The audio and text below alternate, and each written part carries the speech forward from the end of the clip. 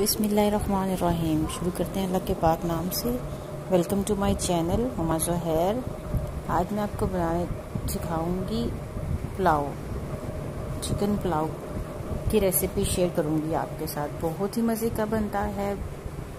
चलिए जी तो हम स्टार्ट करते हैं।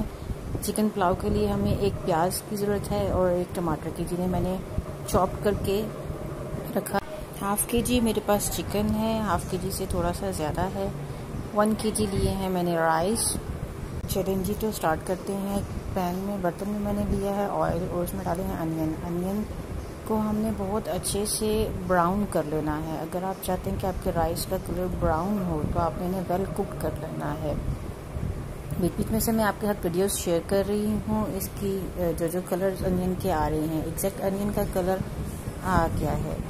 ये देखें थी इतना ब्राउन करना है इनको। इतना ब्राउन होने के बाद इसमें हम इसके अंदर चॉप टमाटो ऐड करेंगे। चॉप टमाटो ऐड करने के बाद हमने इसको वेल कुक करना है।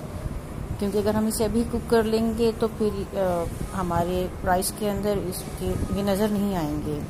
वेल कुक करने के बाद इसके अंदर मैंने ऐड किया है चिकन चिकन को फ्राई करना है अच्छे से। इस सब चिकन को अच्छे से हमने फ्राई करना है इसमें कुक करना है। अब मैं इसमें ऐड करूँगी सॉल्ट अपने जायके के मुताबिक ऐड करें इसमें सॉल्ट ठीक है? तो आपने अब इसको अच्छी तरह से कुक करना है वेल कुक करना है। मैंने अभी तक इसमें पानी ऐड नहीं किया है, ना टमाटर और प्याज, ना कुक करते वक्त और ना ही अभी चिकन ऐड करते वक्त। इसमें मैं बिल्कुल भी पानी नहीं डालूँगी।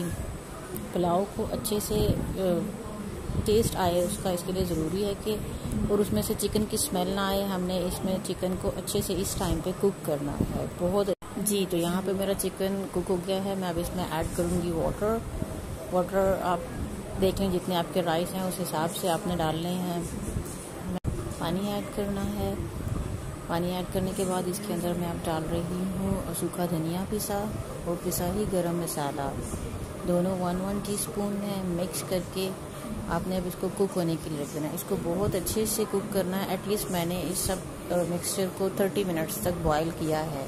करने के बाद इसमें ऐड कर रही हूँ मैं राइस राइस ऐड करने के बाद आपने इसको मिक्स करना है. हल्के हाथों से बहुत तेज से नहीं करना है। जब इसका पानी खुश्क हो जाए, ये देखें, इस तरह से आपने चम्मच हिलाना है और चेक करना है कि इसका पानी खुश्क हो गया है। जितना आपको लगे कि अब इसको दम की ज़रूरत है, पानी इतना खुश्क हो गया है तो आपने इसको दम पे रख देना है। ये देखिए मुझे इतने पानी की ज़रूरत है लो फ्लेम पे मैं अब इसको दम पे रख रही हूँ।